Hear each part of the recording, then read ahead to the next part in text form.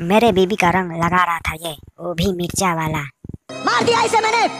बाबा तुम अपने भाभी का चोली ला कर दो। मैं चोली में रंग लगाऊँगा।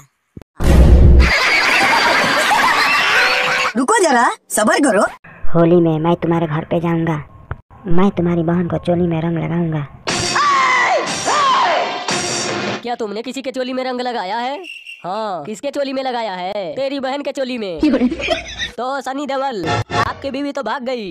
अब आप किसके साथ होली खेलेंगे? आप कहे तो आपके बेटी के साथ होली खेल लूँ। गजब बेचती है।